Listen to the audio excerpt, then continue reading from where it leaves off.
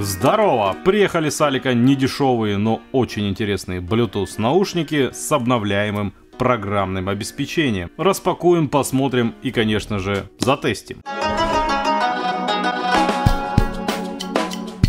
TicPods 2, так называются эти наушники. Еще есть Pro версия с управлением наклонами головы, но это совсем другая история. Форм-фактор тут по типу Apple AirPods. Из основных характеристик этих ушей можно выделить сенсорное управление, поддержка Bluetooth 5.0, поддержка кодека Qualcomm aptX для улучшения качества звука, поддержка голосовых ассистентов Google и Siri, по два микрофона на каждом наушнике, это значит, что должно быть шумоподавление. Есть сенсор, определяющий наличие наушника в ухе, быстрая зарядка, то есть всего 5 минут заряда дадут пожить этим наушникам еще час. Кейс-чехол заряжаемый с аккумулятором на 390 мАч и максимальная длительность работы совместно с этим кейсом до 23 часов. Вот такие интересные особенности, ну а теперь время открывать.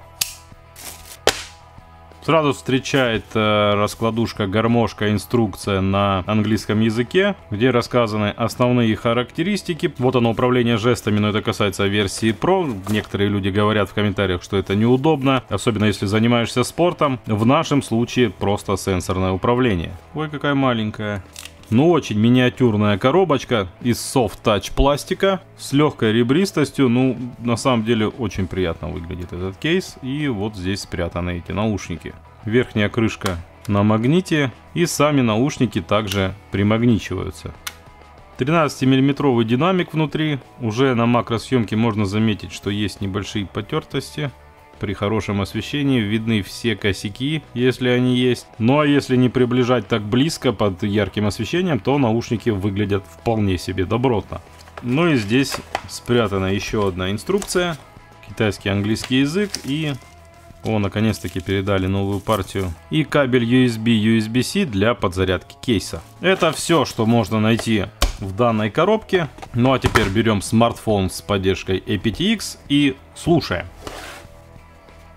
И да, немаловажный момент, для максимально качественной работы этих наушников необходимо скачать приложение MobVoy. При подключении питания светятся два светодиода. Красный свет это заряд или когда батарейка сядет, когда они будут светиться зелеными, значит заряжена полностью. И внутри самого кейса есть кнопка для сопряжения по Bluetooth.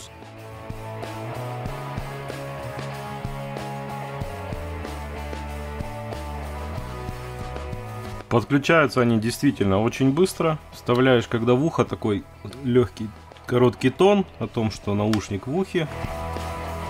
Наушник вынимаешь, действительно останавливается проигрывание.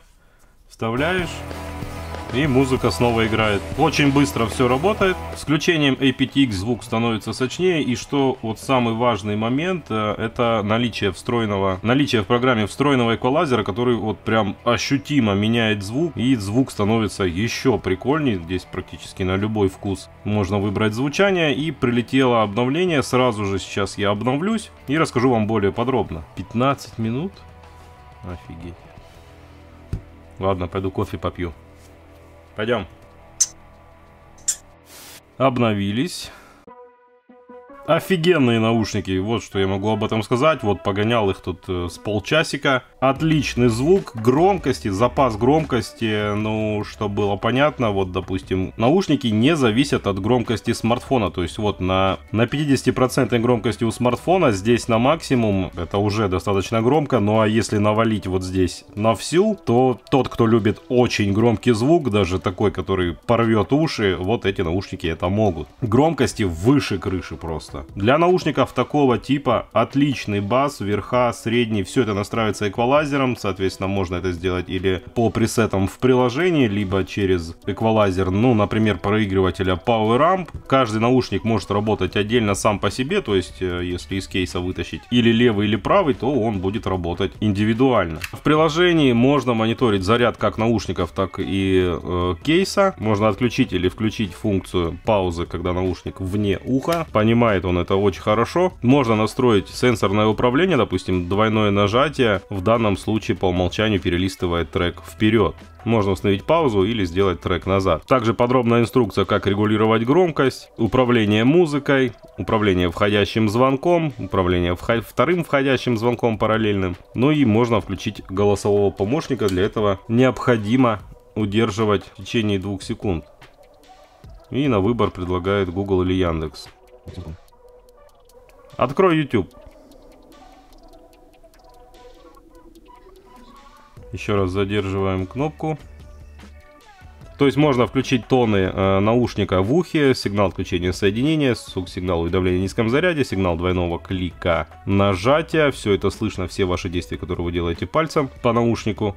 Вот такие здесь есть настройки обновления, ну и в общем-то все. Сидят они очень удобно в ухе, легкие. Я, честно говоря, прям удивлен звуком и возможностями этих наушников. Это самое крутое, что у меня было на обзоре. У них, правда, и ценник тоже крутой, но наушники по факту реальный огонь. Есть защита IPX4, то есть э, легкий дождь или пропотевшие уши им не страшны. Наличие Bluetooth 5.0, Сигнал стабильный и задержки вообще не чувствуется. Очень удобная штука, сенсор, определяющий наличие в ухе. Просто вытащил наушник, поговорил с кем-то, запихнул его обратно и музыка автоматически включилась или видео. Да, с максимальной громкостью тут надо быть поосторожней.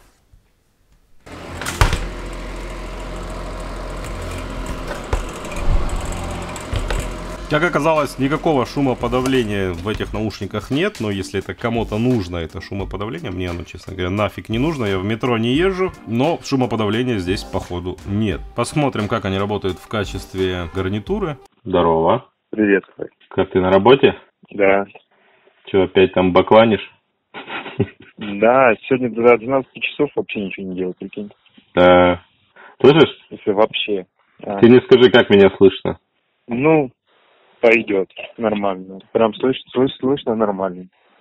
Теперь о минусах, которые я здесь нашел, мне не понравилось. Что в итоге при использовании все-таки эти наушники наверняка будут иметь вот здесь вот потертости от кейса. Максимальная громкость этих наушников вместе с максимальной громкостью смартфона реально могут очень сильно повредить нервную систему. Так что с этим поосторожнее. Да, есть еще один очень интересный момент, который поможет в путешествиях. Эти наушники можно использовать в качестве переводчика. То есть даем один наушник, например, какому-нибудь албанцу или китайцу, один оставляем себе. Каждый говорит на своем языке и получаем перевод. Короче говоря, в целом наушники мне зашли, я прям очень довольный и подарю их своей жене. А, кстати, смотрите, вот здесь вот на крышке они сделали мягкие упоры, чтобы наушники не поцарапались, а вот там, там ничего такого нет.